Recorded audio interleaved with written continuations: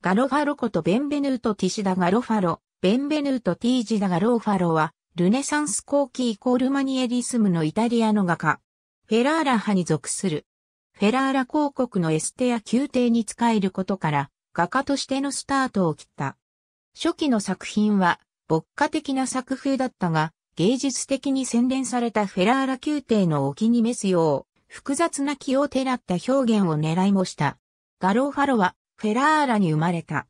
ドメニコ・パネッティの下で徒弟をしていたと言われ、もしかするとロレンツォ・コスタのところにもいたかもしれない。ドッソドッシとは同世代で合作することもたまにあった。1495年、ボッカチオ・ボッカチーノについて、クレモナで仕事をした。ボッカチーノはガロファロにベネツィア派の彩色法の手ほどきをした。1509年から1512年までの3年間をガロファロはローマで過ごした。その時にジュリオ・ロマーノの影響で古典的様式を身につけるに至った。フェラーラ人紳士ジェローニモ・セグラートに招かれて再びローマに行き、ラファエロの下でバチカン宮殿の署名の間の装飾の仕事をした。家庭の事情でフェラーラに戻ると、アルフォンソ一世デステから絵の依頼があり、デイリッツやディ・ベルリガードなどの宮殿をドッシと共に手掛けた。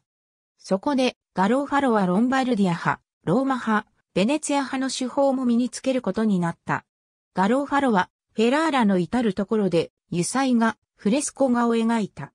その中には、サ・フランチェスコ教会にある、幼児虐殺、そして、傑作、キリストへの裏切りも混じっている。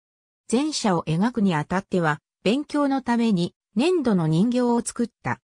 1550年に失明するまで、ガロファロはコンスタントに仕事を続けた。祝日にも神への愛を示すため修道院で絵を描いた。結婚したのは48歳で、二人の子供を設けた。1559年9月6日、その子らを残して、ガロファロはフェラーラで世を去った。ジュリオ・ロマーノ、ジョルジョーネ、ティツィアーノ、ルドビーコ・アリオストとは友達だった。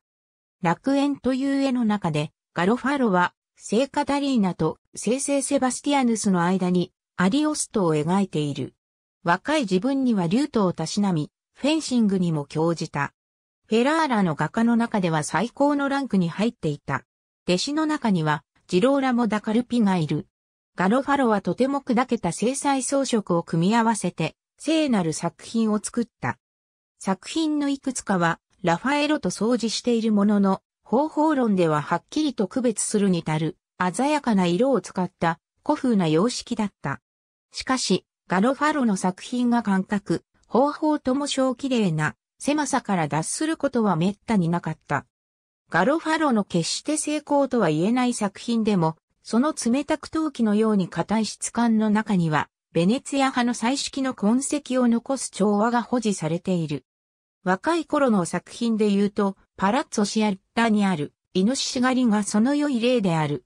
後の作品では、ローマのパラッツォコロンナにある騎士の行進など、オランダの画家、カイプをイタリア風にした風情がある。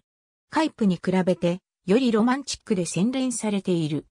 ガロファロの初期の作品には、先日したイノシシ狩りの他に、ベネツィア美術アカデミーに、傑作の一つ、群衆の中の4人の聖者と聖母がある。ミラノのブレラ美術館にある、ピエタは、ますます様式化されてゆく。処理の仕方を見ることができる。モデナギャラリーの聖母はうっとりするような作品である。他にもフェラーラの図書館に信仰の勝利がある。また、ガローファロはジョルジョ・バザーリーの画家、彫刻家、建築家列伝に紹介された画家の一人である。ありがとうございます。